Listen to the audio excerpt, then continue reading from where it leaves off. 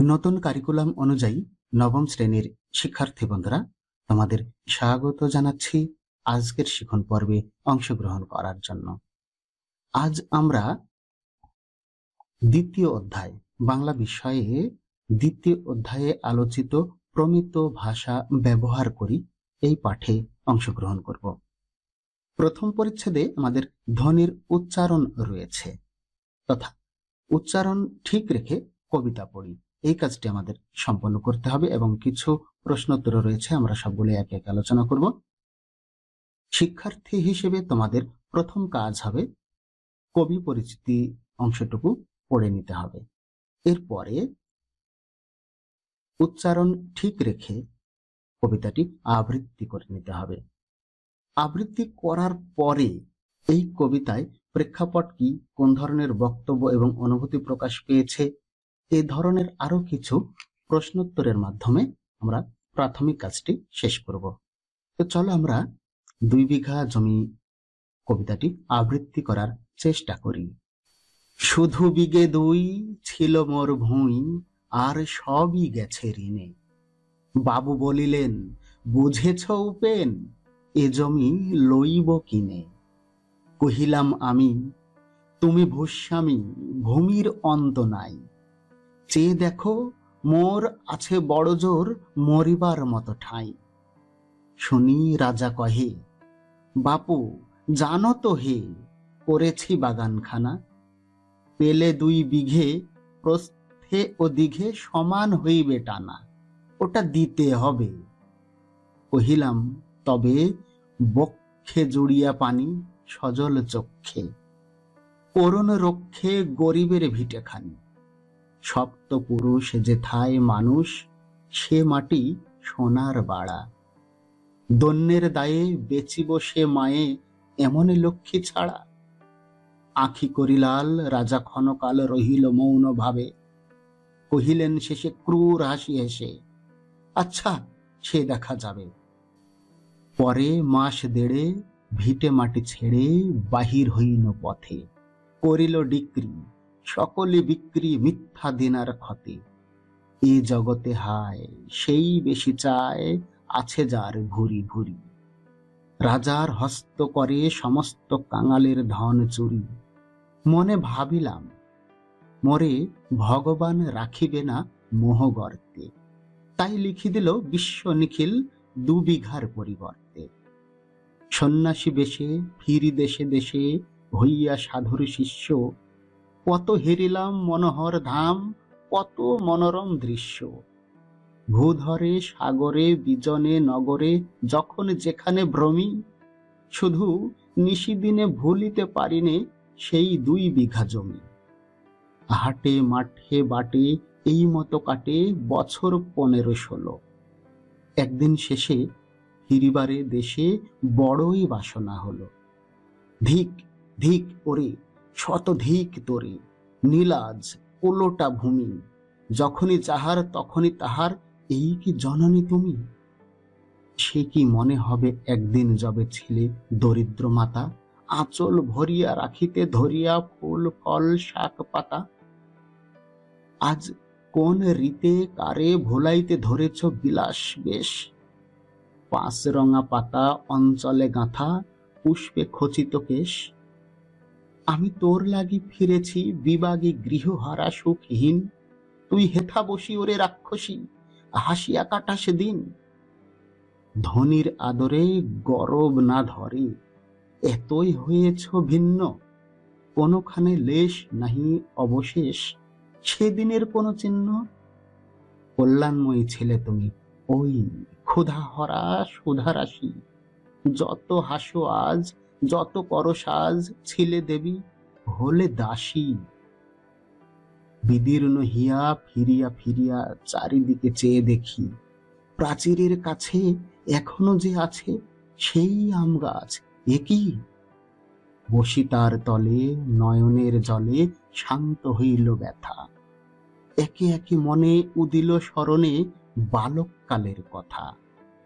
সেই মনে পড়ে জ্যৈষ্ঠের ঝড়ে রাত্রে নাহিক ঘুম। অতি ভোরে উঠি তাড়াতাড়ি ছুটি আম কুড়াবার ধুম।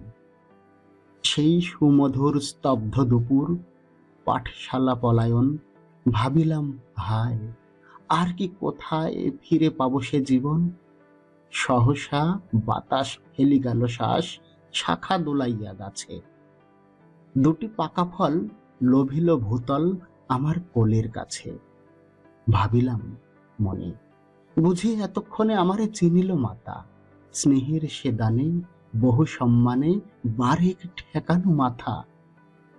হেনকালে হায় জমদূত প্রায়, কোথা হতে এলো মালি? ঝুঁটি বাঁধা উড়ে সপ্তম সুরে পাড়িতে লাগিল গালি। কহিলাম, তবে আমি তো নীরবে দিয়েছি আমার সব। দুটি ফল তার করি অধিকার এ তো তারই কলরব। চিনিল না মরে, নিয়ে গেল ধরে কাঁধে তুলি লাঠি গাছ। বাবু ছিপ হাতে পারিষদের সাথে ধরিতেছিলেন মাছ। শুনি বিবরণ, ক্রোধে তিনি কন মারিয়া করিব খুন। বাবু যত বলে, পারিষদ দলে বলে তার শতগুণ। আমি কহিলাম, শুধু দুটি আম ভিক মাগি মহাশয়। বাবু কহে হেসে বেটা সাধু বেশে পাকা চোর অতিশয়। আমি শুনে হাসি, আখি জলে ভাসি, এই ছিল মোর ঘটে। তুমি মহারাজ, সাধু হলে আজ আমি চোর বটে। শিক্ষার্থী বন্ধুরা, দুই বিঘা জমি কবিতাটি আবৃত্তি করার পর শিক্ষক তোমাদের সামনে কিছু প্রশ্ন উপস্থাপন করবেন। সেই সকল প্রশ্নের উত্তরের মাধ্যমে এই কবিতাটি সম্পর্কে আরও স্পষ্ট ধারণা গ্রহণ করতে পারবে। যদি কোনো প্রশ্নের উত্তর তোমরা শুদ্ধ এবং সঠিকভাবে দিতে না পারো, সেক্ষেত্রে শিক্ষক তোমাদের সহযোগিতা করবেন। কোন ধরনের প্রশ্ন এবং কোন ধরনের উত্তর হতে পারে সে বিষয়টি একটু আমরা দেখে নেওয়ার চেষ্টা করি, চলো। প্রথম প্রশ্ন হতে পারে, এই কবিতার প্রেক্ষাপট কি? এই কবিতার প্রেক্ষাপট হলো, বাংলা গ্রামীণ সমাজের শ্রেণীভেদ ও দুর্বলের উপর সবলের অনাচার অবিচার নিয়ে রবীন্দ্রনাথ ঠাকুর এই কবিতাটি লিখেছেন। অর্থাৎ দুর্বলের উপর সবলের অনাচার, অত্যাচার, অবিচার, জুলুম এই প্রেক্ষাপটকে কেন্দ্র করে কবিতাটি লিখেছেন। এই কবিতায় কোন ধরনের বক্তব্য এবং অনুভূতি প্রকাশ পেয়েছে?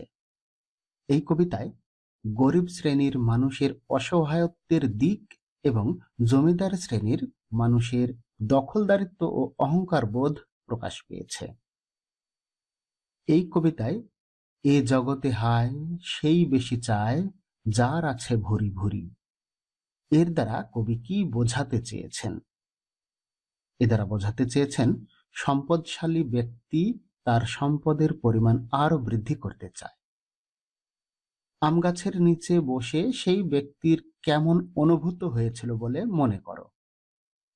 আম গাছের নিচে বসে সেই ব্যক্তির বালককালের কথা বারবার মনে পড়ছিল তথা অতীতের কথা হৃদয়ে উদয় হচ্ছিল। বাবুর দৃষ্টিকোণের কোথায় ভুল হচ্ছিল? জমিদার বাবু মনে করেছিলেন, উপেন তার গাছের আম চুরি করেছে। কিন্তু উপেন সত্যি চুরি করেনি। এখানেই জমিদার বাবুর দৃষ্টিকোণের ভুল হচ্ছিল। তুমি মহারাজ, সাধু হলে আজ, আমি আজ চোর বটে। এর দ্বারা কি অর্থ প্রকাশ পায়? এখানে অসহায় উপেনের অসহায়ত্ব প্রকাশ পেয়েছে। কেননা জমিদার জোরপূর্বক উপেনের জমি হস্তগত করেছে, যা চুরিরই সামিল। অন্যদিকে উপেন বহুদিন পর তার ভিটায় এসে একটি আম কুড়িয়ে নেওয়ায় তাকে চুরির অপবাদ দেওয়া হয়েছে, যা অন্যায়। তাই উপেন আক্ষেপ করে এই কথাটি বলেছেন। আশা করি কবিতা সম্পর্কে একটি স্বচ্ছ ধারণা লাভ করতে সক্ষম হয়েছ। শিক্ষার্থী বন্ধুরা, কবিতাটি সংক্ষেপিত করা হয়েছে। এ পর্যায়ে আমরা কয়েকটি শব্দের অর্থ দেখে নেব। উড়ে মানে ওড়িশার লোক, একটি প্রদেশের নাম। উদিল মানে উদয় হলো বা মনের মধ্যে জাগলো। ক্রুর মানে নিষ্ঠুর এবং নির্দয়। ক্ষুধা হরা মানে ক্ষুধা দূর করে এমন। ক্ষত মানে ঋণের দলিল। ঘটে থাকা বা ভাগ্যে থাকা। ঠাই মানে স্থান। ঠেকানো মানে ঠেকালাম বা স্পর্শ করালাম। স্পর্শ করার কথাই এখানে বলা হয়েছে। ভেরিলাম মানে দেখলাম। সপ্তম সুরে মানে চওড়া গলায় মানে উচ্চ স্বরে, লক্ষ্মীর ছাড়া মানে দুর্ভাগা মোহ মানে লোভ, ভূস্বামী মানে জমিদার, বিজন মানে জনমানব বা জনমানুষহীন। এই শব্দার্থগুলো আমাদের জেনে রাখতে হবে। এ পর্যায়ে আমরা স্বরধ্বনির বৈশিষ্ট্য শনাক্ত করি। এখানে কি বলছে সেটা খেয়াল করি। এক একটি স্বরধ্বনি উচ্চারণের সময়ে জিভের অবস্থান ও ঠোঁটের অবস্থা এক এক রকম হয়। দুই বিঘা জমি কবিতা থেকে কিছু শব্দ নিচের তালিকায় দেওয়া হলো। শব্দগুলো বারবার উচ্চারণ করো এবং সহপাঠীদের সাথে আলোচনা করে ছকে থাকা শব্দগুলোর ভিত্তিতে সঠিক উত্তরে টিক চিহ্ন দাও। এরপরে শিক্ষকের সহায়তা নিয়ে উত্তরগুলো মিলিয়ে নাও। নিচে প্রথমটি করে দেখানো হয়েছে, খেয়াল করো। কবিতায় ব্যবহৃত শব্দ নীলাজ, বিলাস, দাসী। এখানে আমাদের খুঁজে নিতে হবে ধ্বনি কোনটি? রস্যই শব্দে থাকা রসের ধ্বনিটি স্বরধ্বনির উচ্চারণে জীব কতটুকু উঁচু হয়? এখানে টিক চিহ্ন দিয়ে দেওয়া আছে প্রথমটিতে। এভাবে আমরা পরবর্তী শব্দগুলো একটু খেয়াল করি। এই শব্দগুলোতে থাকা স্বরধ্বনির যে বৈশিষ্ট্য সেগুলো আমরা এখানে খেয়াল করব। এখানে কবিতায় ব্যবহৃত শব্দ সেই, বটে, হেনকালে, এ জমি। এই শব্দগুলো থেকে এ স্বরধ্বনিটি বাছাই করা হয়েছে। এখন খেয়াল করতে হবে, স্বরধ্বনিটি উচ্চারণে জীব কতটুকু উঁচু হয়? এখানে জীব উঁচু হয় একটু। আমরা একটু চিহ্ন করে দিই। জীব একটু উঁচু হয় এটা হবে। তারপরে স্বরধ্বনিটি উচ্চারণের সময় জীব সামনে না পিছনে উঁচু হয়? এখানে হবে সামনে। স্বরধ্বনিটি উচ্চারণের সময়ে ঠোঁট গোল না প্রসারিত হয়। ঠোঁট এ প্রসারিত হয়। উচ্চারণ করার সময় প্রসারিত হয়। আরেকটি প্রশ্ন আছে, স্বরধ্বনিটি উচ্চারণের সময় ঠোঁট কতটুকু খোলে? অল্প নাকি বেশি? এ, এটি অল্প খোলে। তাই আমরা এই জায়গা টিক চিহ্ন দিয়ে দিলাম। এরপরে রয়েছে, একদিন, একে একে গেছে। এখান থেকে আমরা এ স্বরধ্বনিটি নির্বাচন করেছি। এখানে আমরা দেখব স্বরধ্বনিটি উচ্চারণে জীব কতটুকু উঁচু হয়। জীব একটু উঁচু হয়। আর স্বরধ্বনিটি উচ্চারণের সময়ে জীব সামনে না পিছনে উঁচু হয়? এটি উত্তর হবে সামনে। এরপরে স্বরধ্বনিটি উচ্চারণের সময় ঠোঁট গোল না প্রসারিত হয়। কেমন হয়? এ উচ্চারণের সময় প্রসারিত হয়। স্বরধ্বনিটি উচ্চারণের সময় ঠোঁট কতটুকু খোলে? বেশি খোলে, অল্প খোলে না, বেশি খোলে। আমি, আনসান, আঁচল, এখান থেকে আমরা আ, অর্থাৎ স্বর আ, স্বরধ্বনিটি নির্বাচন করতে হয়েছে। এখানে আমাদের খেয়াল করতে হবে স্বরধ্বনিটি উচ্চারণে জীব কতটুকু উঁচু হয়? জীব কতটুকু উঁচু হয়? আ, নিচে থাকে। তারপরে স্বরধ্বনিটি উচ্চারণের সময় জীব সামনে না পেছনে উঁচু হয়? এরপরে স্বরধ্বনিটি উচ্চারণের সময় জীব সামনে না পিছনে উঁচু হয়? নাকি মাঝখানে? এখানে হবে মাঝখানে। মাঝখানে। স্বরধ্বনিটি উচ্চারণের সময় ঠোঁট গোল হয় নাকি প্রসারিত হয়? আ উচ্চারণের সময় ঠোঁট প্রসারিত হয় আর এটি উচ্চারণের সময় ঠোঁট বেশি খোলে। আ, অন্ত, অবারিত, সজল, এখান থেকে অধ্বনিটি নেওয়া হয়েছে। এই ক্ষেত্রে জীব একটু উঁচু হয় আর এটি হবে মাঝখানে, তারপরে হবে ঠোঁট গোল হয়, অ, আর এটি অ, বেশি খোলে। ওটা, চোর, মোর, এখান থেকে আমরা ও স্বরধ্বনিটির বিচার করব। ও উচ্চারণের সময় জীব একটু উঁচু হয়। জীব একটু উঁচু হয়, এটা পিছন দিকে উঁচু হয়, ঠোঁট গোল হয়, ও। ঠোঁট গোল হয় এবং খোলে অল্প। ফুল দুপুর, বাবু, এখান থেকে আমরা উ স্বরধ্বনিটি নির্বাচন করতে হবে। এটি উচ্চারণের সময় জীব উঁচু হয়। উঁচুটা হয় পেছন দিকে, ঠোঁটটা গোল হয় এবং খোলে অল্প। এইভাবে আমাদের টিক চিহ্ন দিয়ে এই ছকটি পূরণ করতে হবে। আশা করছি এই অংশটুকু আমরা স্পষ্টভাবে বুঝতে পেরেছি। এবারে আমরা স্বরধ্বনির বৈশিষ্ট্য সম্পর্কে বিস্তারিত ধারণা গ্রহণ করব। স্বরধ্বনির বৈশিষ্ট্য। বাংলা স্বরবর্ণ এগারোটি। কিন্তু মৌলিক স্বরধ্বনির সংখ্যা সাতটি। এখানে দেওয়া আছে, দেখো, ই, এ এ, আ, অ, ও, উ। স্বরধ্বনি উচ্চারণের সময়ে ফুসফুস থেকে বেরিয়ে আসা বাতাস বাকযন্ত্রের কোথাও বাধা পায় না। কিন্তু এক একটি স্বরধ্বনি উচ্চারণের সময়ে জিভের অবস্থান ও ঠোঁটের অবস্থা এক এক রকম হয়। যে বিষয়টি আমরা ছাপ পূরণ করলাম, সে বিষয়টি এখানে বিস্তারিত আবার দেওয়া আছে। আমাদের একটু পড়ে নিতে হবে। ই স্বরধ্বনিটি উচ্চারণের সময় জীব উঁচু হয়, তাই এটি উচ্চ স্বরধ্বনি। এই বিষয়গুলো আমাদের মনে রাখতে হবে।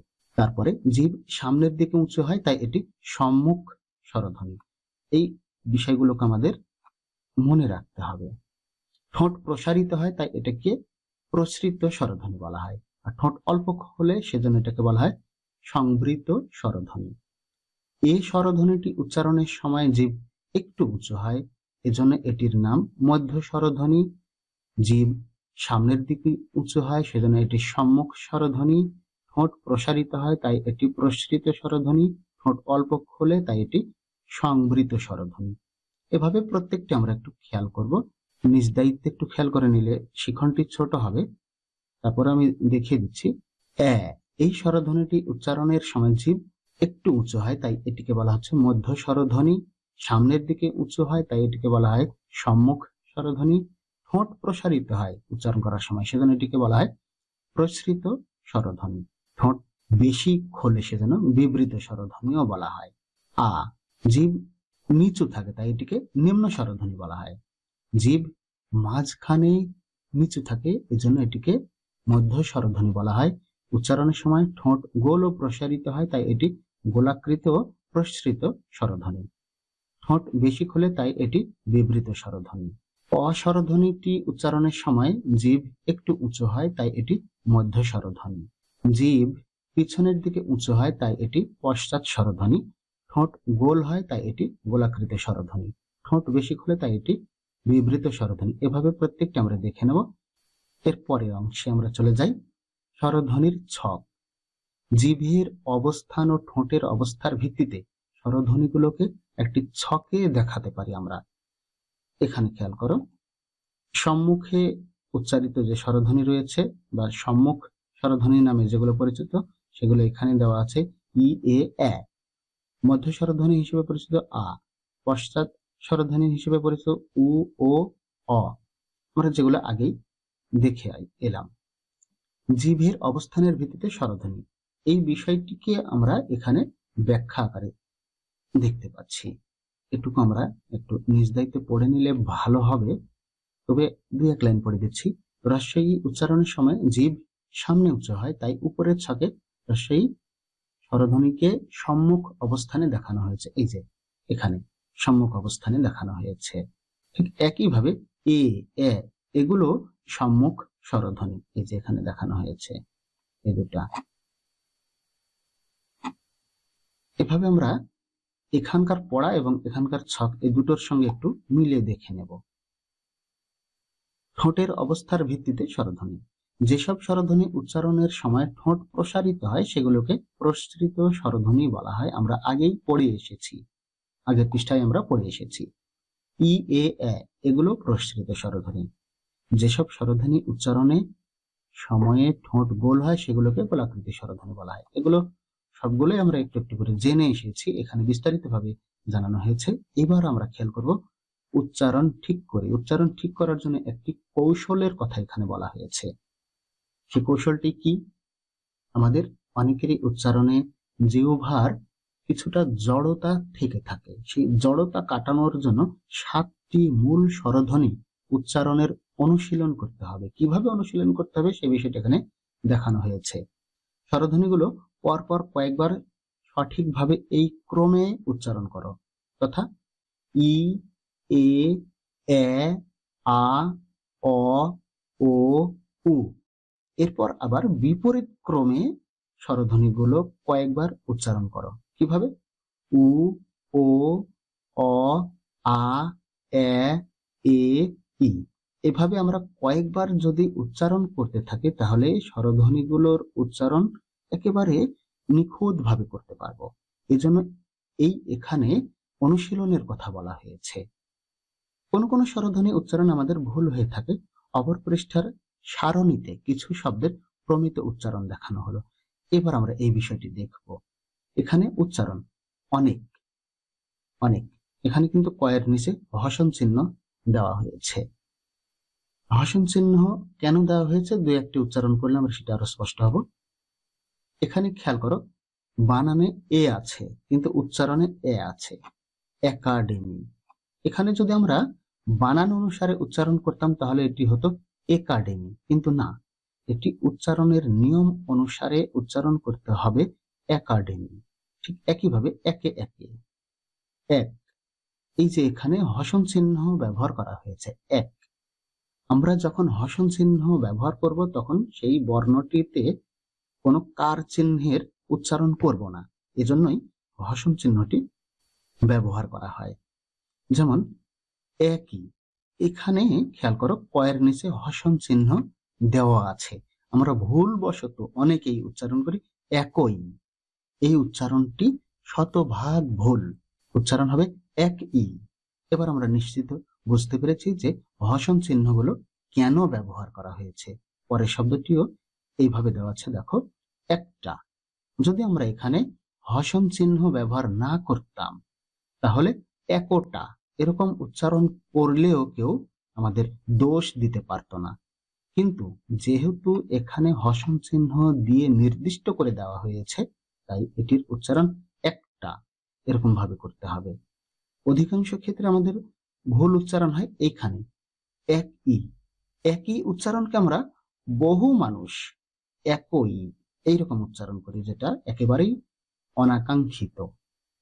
এরপরে এতই আলো। এখানে দেখো, তয়ের নিচে হসন চিহ্ন নাই কিন্তু ওকার দিয়ে লেখা হয়েছে, এজন্য এখানে ওকারান্ত উচ্চারণ করা হয়েছে। একটি, ওঠে, অতি। এই বিষয়টি খেয়াল করো, এখানে স্বর অ দিয়ে বানান করা হয়েছে, কিন্তু বানানের নিয়ম অনুসারে এখানে ওকারন্ত উচ্চারণ করতে হয়। বানানের নিয়ম অনুসারে কেন এটি অতি হলো, সেই বিষয়টি আমার অন্য শিখনে দেওয়া আছে।